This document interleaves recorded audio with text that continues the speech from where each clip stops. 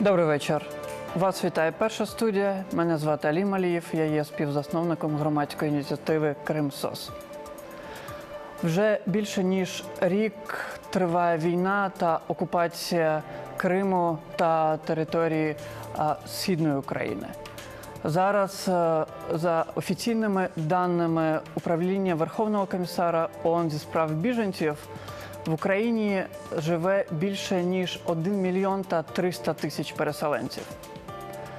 Ці Ця велика е, цифра свідчить також про те, що багато міфів щодо переселенців в різних регіонах, е, куди переїхали ці люди, е, існує зараз. І сьогодні ми, власне, цю нашу студію присвячимо тому, які міфи є про переселенців та що робити з ними, щоб ми разом е, по всій країні будували наше спільне майбутнє. Я хочу представити наших гостей: Оксана е, Єрмішина, голова Всеукраїнської організації у справах вимушених переселенців. Добрий вечір. Вітаю. Євгенія Конончук, координатор по роботі з роботодавцями громадської ініціативи Центр зайнятості вільних людей. Добрий вечір. Та Юлія е, Пім'янова, один з координаторів громадської ініціативи Станція Харків. Вітаю.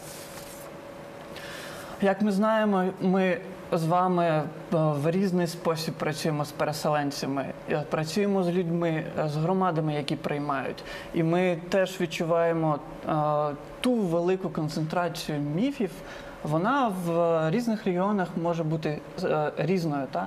але все-таки є якісь такі універсальні міфи. І я пропоную нам подискутувати на тему, звідки вони беруться, які це міфи, і що робити, е, щоб далі ми е, будували власне це спільне майбутнє, про яке так багато говоримо. Один з міфів, який почав так дуже плідно та дуже щільно з'являтися в інформаційному просторі минулого літа, коли почалась активна фаза АТО, це міф того, що переселенці зі сходу е, втекли від тієї трагедії, яка була е, була на сході, хоча мали самі її зупинити. Пані Оксано, звідки, на вашу думку, от власне такий міф існує? Е, Я вважаю, що є е, дві причини е, виникнення цього міфу. Перша причина то є психологія людини.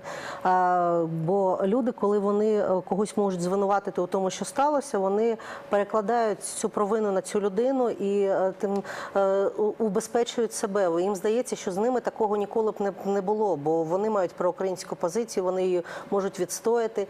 І це дуже ну. Суспільство це дуже сприймає, е, і всім хо- хочеться дуже безпеки, коли в Україні йде війна. І цей міф, цей інформаційний такий вірус, він є дуже поширеним, найпоширенішим. Коли люди бачили там одну-дві бабусі і потім перекладали е, ті дії на всі 7,5 мільйонів мешканців Донецької області. А є ще інша причина, і вона теж є дуже важливою. А люди зовсім розуміють, що там іде війна.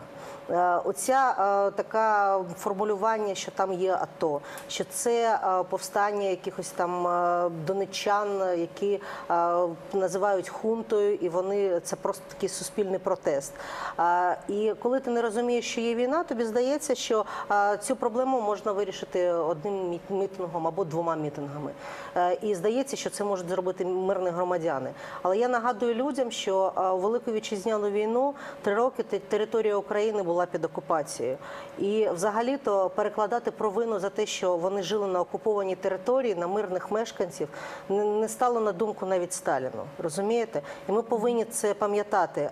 Люди е, проти тяжкого важкого озброєння вони нічого не можуть зробити. Я сама була у ситуації, коли моїй дитині за те, що вона була одягнена в жовті, в жовті штанці та блакитну е, футболку, і вона вважала, що вона прапор України. е, Їй приставили до голови автомата. І я була у розпачі, я запам'ятала це назавжди, але я знаю, що людина, звичайна людина, проти автомата вона може тільки вмерти. І ось ця доля, яку пропонують нам мешканці України, коли вони кажуть, що ми винні, вони пропонували нам вмерти, але навіть вмерши ми б не зупинили цю навалу. Ми повинні розуміти і е, розуміти всі, що це війна, що це агресія, і е, коли йде війна, то воюють солдати. Мирні мешканці вони потерпають, вони гинуть, і нічого іншого вони зробити не можуть. Вони можуть бути там якимись наводчиками, вони можуть працювати у розвідці, але це поодинокі випадки. Суспільна громада, мирна громада, вона не є вояками, і люди повинні пам'ятати про це кожен раз, коли вони звинувачують людей, що вони не зупинили танки, гради і всю важку артилерію е, російських військ. Ви власне зараз зачепили ще один міф, який я відчуваю як е, кримський татарин, як людина, яка прожила більшу свою частину життя в Криму. Це міф того, що от чого ви не захищали свою батьківщину, а, от, бо прийшли окупанти і Крим от здали. І коли мені закидають таке, я кажу: ви розумієте, останнє, що я хотів би, щоб було в Криму, це от ситуація військового конфлікту, де абсолютно там і географічні умови. Ну в кримських татар там ніколи не було зброї. Там ми жартуємо, що найбільша зброя це тяпка, якою працюють е, кримські татари в селах, та які живуть там. І власне ці міфи зараз е, поширюються і на Донбасі. Я б хотів би, щоб Юлія і Євгенія прокоментували теж це. Ам, Я бы хотела ск- немножко подойти с другой стороны. А, Вот то, о чем вы рассказываете, это действительно правда. А, Но если посмотреть, в какой-то момент а, информационное поле, медиаполе стало связующим звеном между переселенцами и между э, местным, местцевой громадою. И именно это информационное поле говорило, что на Востоке идет не война, на Востоке идет э, антитеррористическая операция, которая не так страшна, как, как вам кажется. И поэтому с какой-то стороны можно понять местную громаду, которая, не понимая, что там происходит, она не могла реально и объективно оценить вот все эти проблемы, о которых вы рассказываете и которые вы видели. Поэтому, возможно, когда мы будем в конце возвращаться к путям решения данного вопроса, стоит, стоит апеллировать и к решению этой проблемы. Ну вот я, наверное, дополню. Мне кажется, что люди, ну вот если мы возьмем ситуацию год назад, да, когда раз- начали развиваться эти события, и поставить себя на место этих людей, то как э, государство в целом системно не понимало, что с этим делать, так точно и люди никогда с этим не сталкивались, наши граждане. Поэтому, естественно, была растерянность, э, непонимание, э, с- э, есть ли кто-то сзади, кто поможет. То есть э, вот сейчас, через год, есть такая м, сплоченность, скажем. То есть, возможно, мы сейчас уже ищем какие-то выходы, которые на тот момент у нас просто не было. Люди не понимали, как, как с этим бороться. Я можу зауважити лише одне. Е, Мені здається, що е, навпаки, е, влітку, коли ми виїжджали, ставлення до переселенців було бі- більш сприля- сприятливе. Ніж е, вже восени або взимку. Е, Це вже накопичувалося у суспільства така е, втома, е, бо жити в Україні, яку охопила війна, є дуже складно. Економіка страждає, і люди, навіть які далеко на заході України, вони це все відчувають на собі. І коли почали гинути їх хлопці, які були зі сходу, з центру, з півночі країни, тоді у людей вже образа почалася така, вона особиста образа. Що чому ви тут е, і вам тут дуже добре, як їм здається, а у мене там загинув родич, знайомий, друг. І е, я хочу, щоб е, сказати, що це дуже така е, є велика проблема нашого взагалі інформаційного суспільства. У нас приховують інформацію, скільки людей зі сходу, хлопців зі сходу воюють на боці добровольчих батальйонів, які записувалися. Яка черга стоїть у добровольчі батальйони? Хлопці чекають, коли їх призовуть. Скільки людей е, зі сходу е, солдатів воюють на боці ВСУ? І те, що ця інформація вона не є е, такою доступною до і її не володіє взагалі ніякою статистикою. Не потрібно озвучувати цифри, але можна було б сказати, що там хлопців, наприклад, 20%.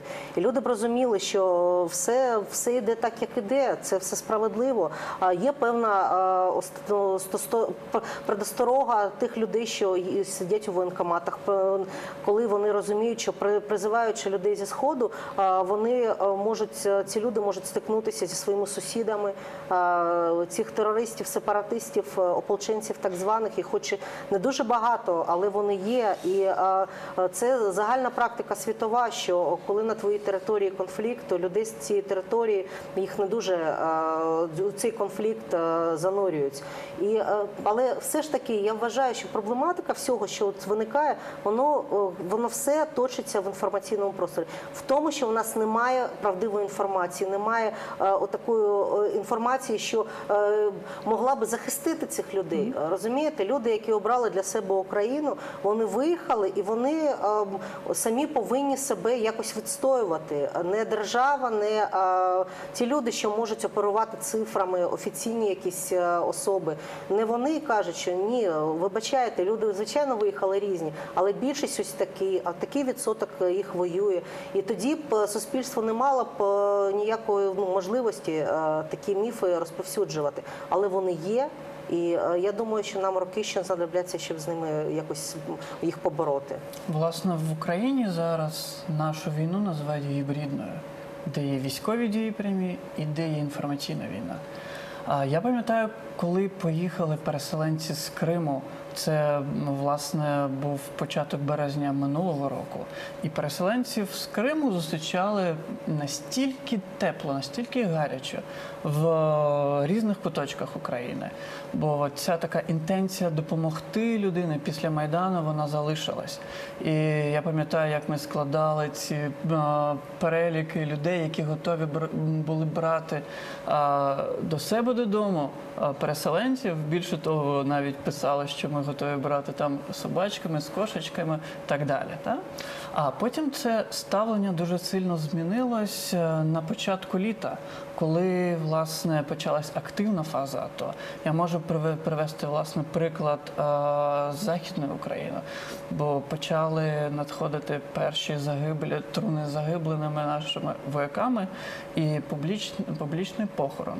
А з іншого боку, в соціальних мере- мережах дуже багато таких фейкових новин. Пам'ятаєте, що а, бабка моєї знайомої сказала, що от переселенці зі сходу такі от нечемні, вони приїжджають, вони не хочуть говорити українською мовою, чи е, там е, починають дебоширити, чи от починають закликати до сепаратизму, чи вивішувати прапори.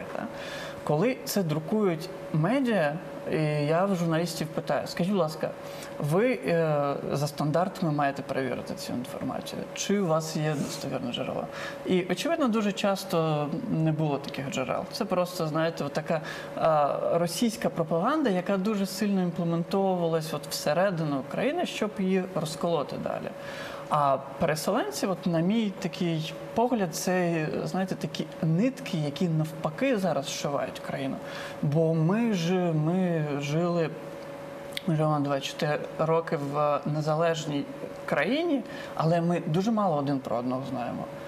Львів'яни мало знали про кримчан, донечани про е, сумчан і так далі, та, про херсонців і про всі інші регіони. Але от зараз така внутрішня міграція через війну, власне, напевно, призводить до того, що люди все-таки один одного починають пізнавати більше. І, власне, питання мови, яке мене е, яке часто задають, це правда. І воно мене, відверто кажучи, дратує. Бо купа волонтерів, які говорять російською мовою, вони працюють на сході. Купа військових, е, які говорять російською мовою, вони захищають, боронять нашу державу на сході. Приклад батальйону ОУН це просто націоналістичний батальйон, де, де велика частина а, неукраїномовних. Це один з яскравих прикладів цієї війни і от тої пропаганди, яку зараз е, намагаються е, імплементувати в суспільство. Я можу сказати, додати щодо мови. Е, Цікавий таке, коли ми тільки приїхали у Київ рік тому, моя дитина е, вийшла на вулиці Києва і сказала: Мама, я нічого не розумію. Ти сказала, що ми поїдемо в єдину Україну. Чому ж всі розмовляють російською мовою? Ти ж казала, що тут тільки у нас так розмовляють, розумієте? І е, можу сказати, що ми дуже тісно співпрацюємо з Міністерством освіти, і вони теж кажуть, що діти, які переїхали зі сходу, це було для них неочікувано. Хоча, м, якщо ми подивимось на е, висновки там олімпіад минулих років, ми побачимо цікаву річ, що олімпіади з українською мовою вигравали кримчани. Та донечани це така е, цікавинка, е, про яку теж суспільство не знає. І вони були здивовані, е, здивовані рівнем української мови дітей, що переїхали. При тому, що ці діти навчалися переважно в російських школах. У нас дуже мало було українських шкіл, і ці діти з російських школ, з російським з російською мовою викладання, вони приїздили і за місяць вони вільно спілкувалися, і в них найвищі найвищі оцінки у класі з українською мовою. Так. Власне, я от хочу Євгенія, до вас перейти з питанням того, ви багато займаєтесь і з ваша ініціатива починалась з Майдана. Багато займаєтесь працевлаштуванням переселенців в тому числі. Один з таких поширених міфів, що переселенці не хочуть працювати. Чи це правда? І як ви от боретеся? Що ви скажете? Чи це міф, чи це правда? Мы очень часто сталкиваемся с такой фразой, как от наших работодателей, так от наших волонтеров и от просечных громадян. Я хочу сказать, что, во-первых, не стоит обобщать. Всегда есть люди, которые не хотят работать, а всегда есть люди, которые готовы на любую работу, лишь бы прокормить свою семью. Э, Одна из этих проблем, проблема обобщения, а, она немножко ужасает и пугает, потому что огромное количество людей, пусть даже по официальным цифрам это миллион триста тысяч человек, их сводят всех к какому-то унифицированному представителю целого региона. Такого не бывает. А, Скажу так, что все наши кандидаты это люди, которые ищут работу, которые хотят работать и которые готовы работать э, там, зачастую, где им предложат. Потому что не будем скрывать, э, экономика Украины была не в самом э, хорошем состоянии. С началом военных действий и с их ухудшением, усилением рынок труда проседал. Сейчас он начинает немножко подниматься, немножко улучшаться, оживляться, но все равно недостаточно. Он не способен принять всех. Поэтому, в принципе, люди хотят и готовы работать э, везде. Угу. Дякую дуже. Ну, я могу Вот, немножко добавить, да. Э, Станция да. Харьков как раз вот э, занимается, у нас есть такое направление, как трудоустройство. То есть мы сотрудничаем с Центром занятости, их представители дежурят, официально предлагают те вакансии, которые люди могут рассмотреть, трудоустроиться официально. Э, Вот. Но есть э, наши специалисты, волонтеры, у которых есть база, так скажем, временной работы.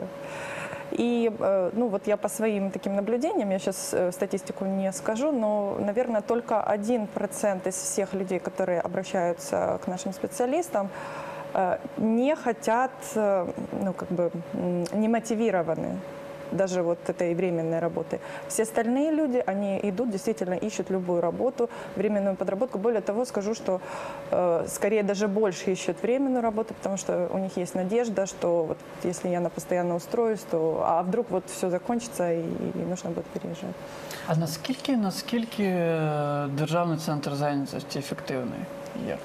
І це питання, напевно, до. Э, Ну, е, мне, наверное, сложно сказать. Единственное, что э, в тот момент, когда летом было очень много людей, действительно, Центр занятости поддержал, они, их представители э, вышли дежурить на вокзал, наш волонтерский пункт, то есть они постоянно людей консультировали. Ну, они одни, наверное, из вот, государственных структур, кто были первыми.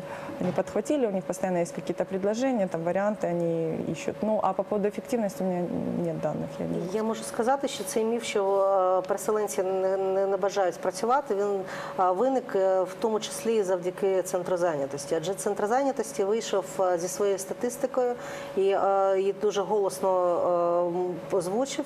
Вона полягала у тому, що до них звернулися за статусом безробітного лише там е, 5 тисяч людей. І е, з цього приводу вони сказали, що ну не хочуть люди е, працювати, не звертаються до центрів зайнятості. І е, я особисто дуже довго пояснювала їм, що переселенець то не є людина, що хоче отримати статус безробітного. Він не потрібен. Переселенець хоче працювати. Розумієте? І е, цей міф щодо того, що люди повернуться і чекаються, це теж міф, який можуть відчувати і переселенці. Самі перший місяць, два-три, коли вони виїхали, бо вони ще у стресі, вони не усвідомлюють, що відбувається в Україні. Але ми всі розуміємо, що е, переселенці це люди, які вже залишаться, мабуть, на тих територіях, де вони зможуть знайти собі житло і зможуть знайти собі роботу. Бо конфлікт надовго, на жаль, і е, ці люди будуть е, вже, якщо їм додати можливість, вони будуть будувати своє майбутнє у тому регіоні, в якому їм буде комфортніше, в якому вони будуть відчувати себе своїми. І е, центри зайнятості, коли вони там оперували цифрами, я їм сказала, зайдіть, будь ласка, на свій сайт. Подивіться ті вакансії, що ви пропонуєте. 1800 гривень. І тепер, будь ласка, скажіть мені, е, де можна ви- винайняти квартиру за ці кошти? Тобто ви пропонуєте роботу, яка апріорі не є для переселенця не тому, що він такий ледаще, а тому, що він йому у нього запити трошки вищі, тому що він чужий на цій території. Коли я виїхала зі своєю сім'єю, у нас не було взагалі, ми виїжджали без нічого. Навіть якоїсь там, е, я не знаю, хусточки, щоб пил витирати, в нас не було. І все потрібно купувати. І люди, які цього не пережили, їм дуже важко це зрозуміти. Я сама не розуміла. Хоча я думала, що я знаю, що таке орендувати житло. Ні, е, ніхто цього не знає, і лише ти і тому е, переселенець він хоче працювати і хоче, щоб його використовували, його фах використовували правильно. І це велика е, така безвідповідальність з боку наших чиновників, що вони цей весь весь процес, вони його. Просто випустили. Люди у нас влаштовуються, от як дівчата правильно кажуть, вони хапаються аби за що. А чи це правильно відносно людей? Виїхали перші хвилі, виїхали люди, які є фаховими, виїхали люди освічені, виїхали дуже багато бізнесменів, які рік не могли е, відкрити свій бізнес, тому що всі фінансові інститути для них були закритими. 40 тисяч е, суб'єктів підприєм- підприємницької діяльності не е, відновили свою роботу на вільній території, покинувши окупований схід. Розумієте? А ми кажемо, що у нас пустий бюджет. А хто ж його буде наповнювати? Коли люди перебиваються будь-чим, аби тільки вижити. Оця проблематика, а це проблематика навіть не переселенців, це проблематика державної політики. Виїхало 10% працездатного населення. Міграція шалена. І звичайно, Україна з цим не стикалася. Але вибачте, це не марсіани е, мільйон висадилися десь у центрі міста. Це наші українці світового досвіду досталь. І досвіду Грузії тієї ж самої теж достатньо для того, щоб зрозуміти ніяких тимчасових помешкань, тільки будувати нове житло, створювати нові робочі місця. І е, переселенці, коли йти тим шляхом, коли вектор донорської допомоги спрямовувати від е, е, продуктових паїв на інтеграцію, на відбудову чогось.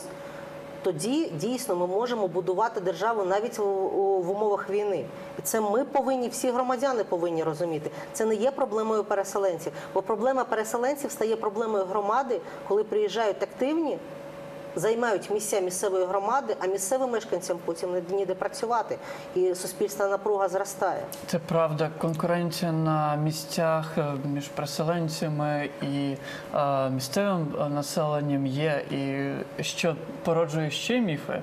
І власне питання ц- державних центрів зайнятості це напевно глибше питання взагалі самої системи функціонування. Е, Скажіть, будь ласка, е, ви працюєте очевидно з і бізнес-асоціаціями, і з державними структурами. Наскільки ефективна ось ця співпраця у вас?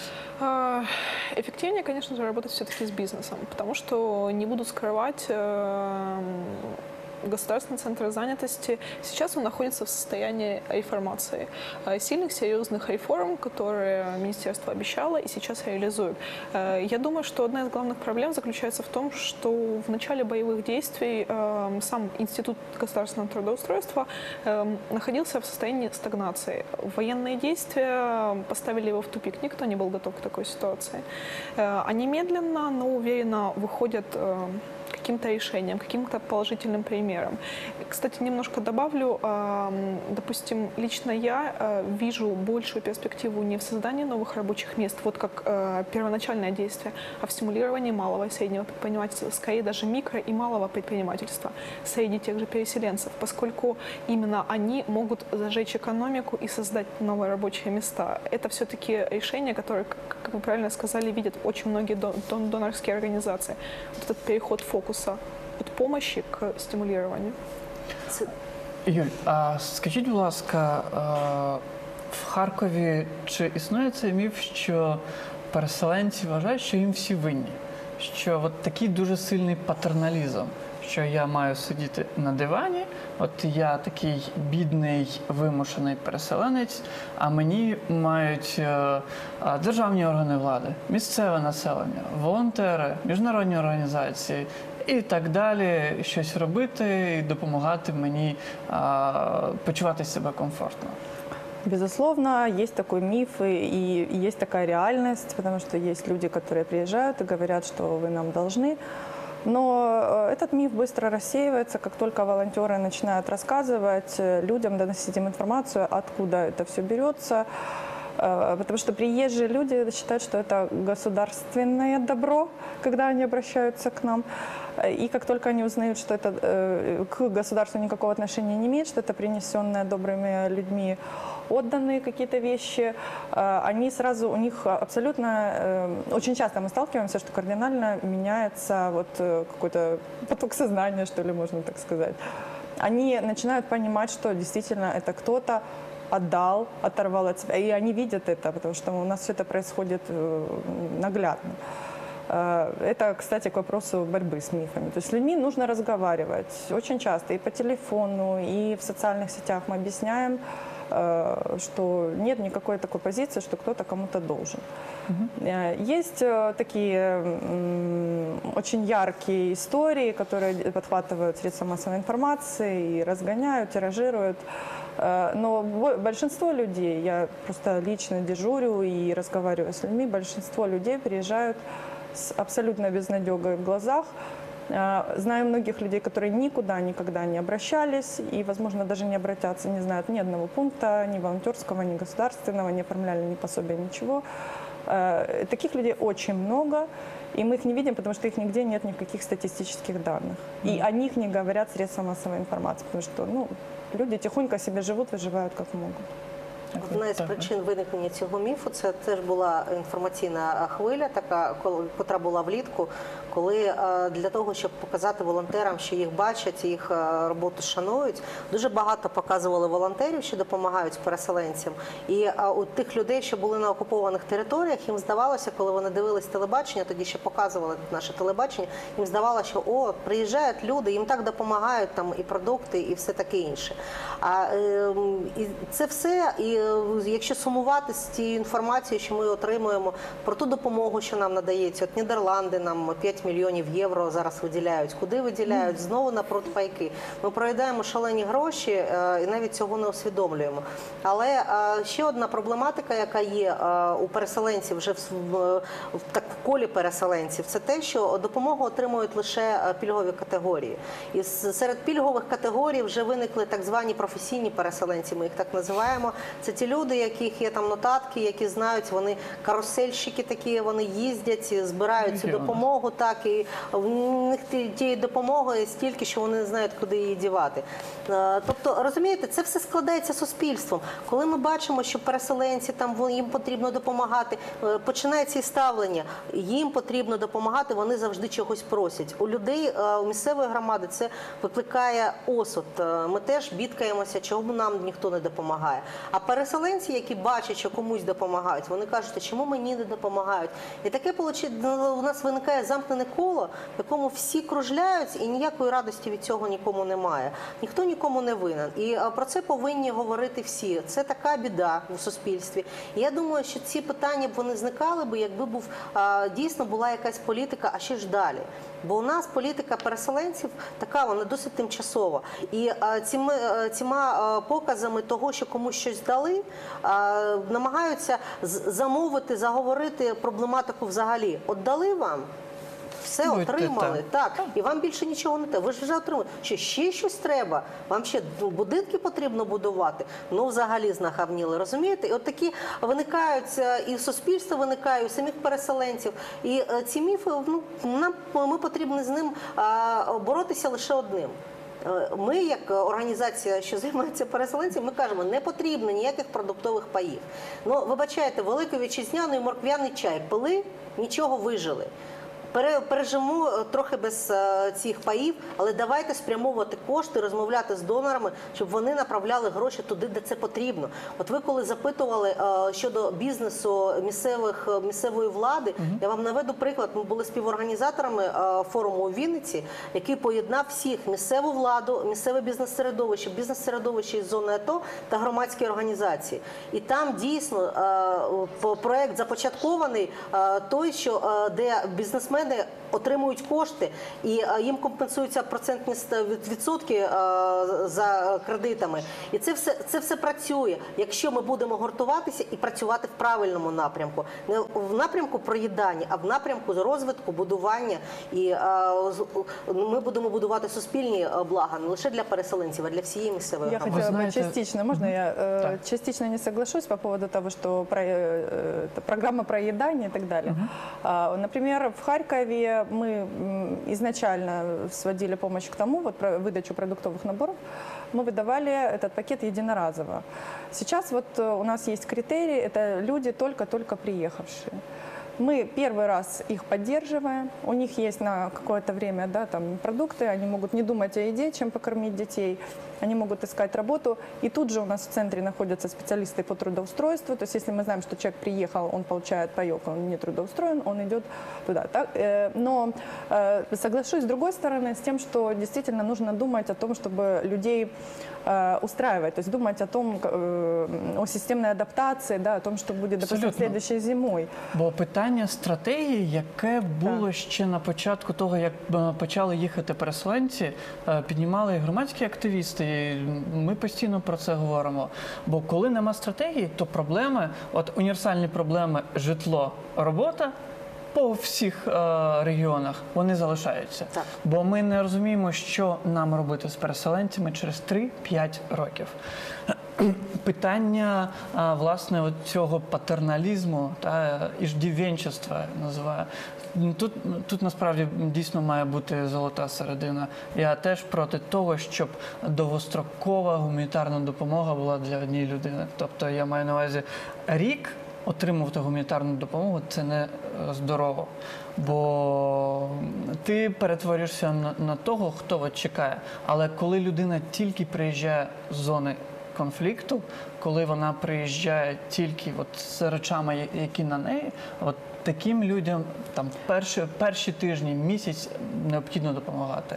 І от що зробили міжнародні структури, починають робити на щастя, це от давати не рибу, а вудочку. Тобто е, допомагати відкривати, відкривати власний бізнес, допомагати від, відкривати там, а, тобто е, е, е, робочі місця, та і таким чином працевлаштовувати переселенців. Ну вот по поводу того, э, поддержать только-только приехавших, а не тех, кто приехал год назад. У нас очень много ситуаций, когда люди выехали летом, и сейчас, ну вот зимой, они э, их выгнали из арендованной квартиры, они потеряли работу, ну то есть ситуация критичная. Мы всегда говорим, что да, мы волонтеры, мы не госструктура, поэтому мы подходим индивидуально, мы рассматриваем каждую ситуацию. Э, Если действительно семья там в безысходности, то нужно Это ей правда. помочь. А по поводу э, удочки, а не самой рыбки, да, э, и по поводу фондов. Международный вот фонд Ведроджиня, например, запускает проект «Станция успеха», когда э, переселенцы смогут открыть свой э, бизнес. Ну, это то, о чем тоже Евгений говорил.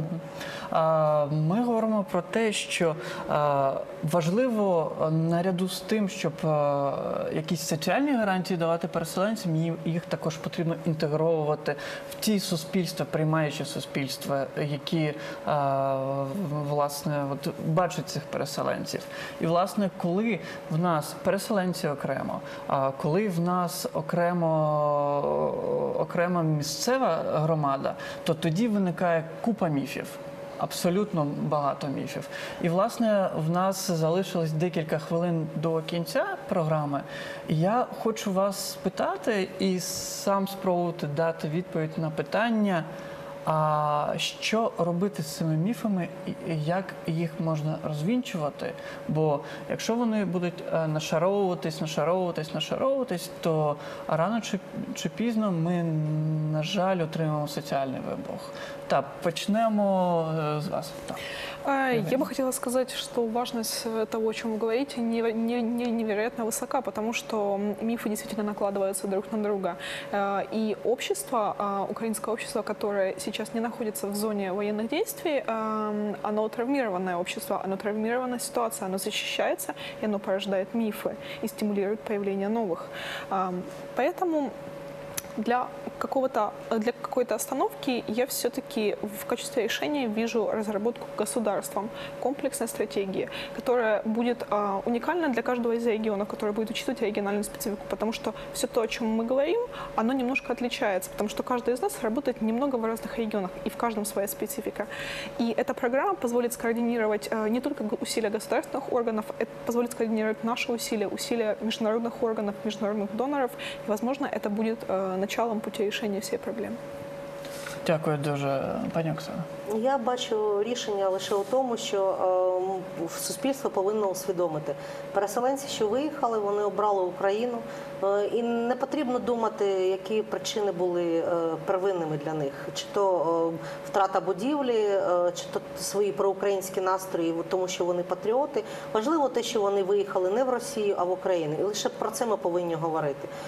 І е, те, що ми повинні робити, це культурно імплементувати е, ці, ці е, прошарки суспільства один в одного. Коли у людей буде робота, коли вони будуть працювати поруч з місцевою громадою, громада буде бачити, на що це здатні ці люди.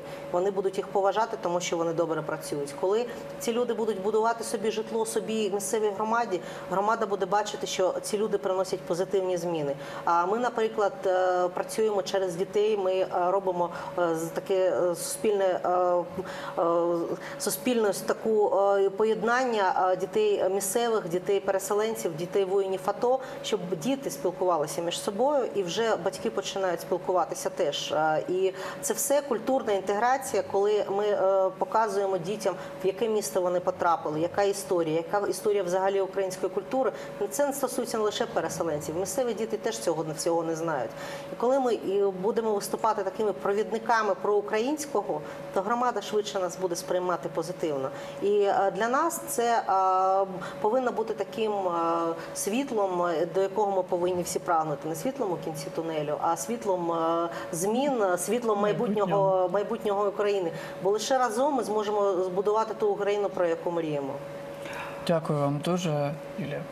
Да, но я вот тоже всегда говорю своим оппонентам о детях, и говорю, представьте себе, что будет через 20 лет. То есть если мы сейчас не начинаем работать с детьми, если мы им не показываем какие-то примеры, а, ну, у- я думаю, что, скорее всего, дети будут впитывать э, не совсем то, что, там, может быть, дают им родители, да, то есть они извне очень много в себя э, втягивают. И здесь э, тоже мы работаем с детьми э, и также со взрослыми. Есть э, вопрос серьезной социализации, когда у нас есть адресная программа поддержки семей, то есть харьковчане сопровождают семью переселенцев, они начинают общаться, завязывается дружба и так далее. Вот. Ну, хотелось бы сказать, что, наверное, как бороться с этими мифами, очень серьезную поддержку могут оказывать и, и могут, и частично оказывают. Это средства массовой информации. И вот, например, судя по Харькову, местные э, телеканалы, местная пресса пытается, пытаются, они приходят, они спрашивают, расскажите какие-то добрые, позитивные истории, потому что негативные истории, они всегда ярче, они э, всегда больше тиражируются. Вот, ну, хотелось бы больше информации какой-то такой Дякую. свежей. да. На мій погляд, е, міфи власне породжуються тоді, коли ми мало знаємо один про одного. Давайте більше пізнавати один одного, спілкуватись один з одним і розуміти, що і переселенці, і місцеві мешканці мають одну картинку майбутнього для цієї країни. З вами була перша студія. До побачення.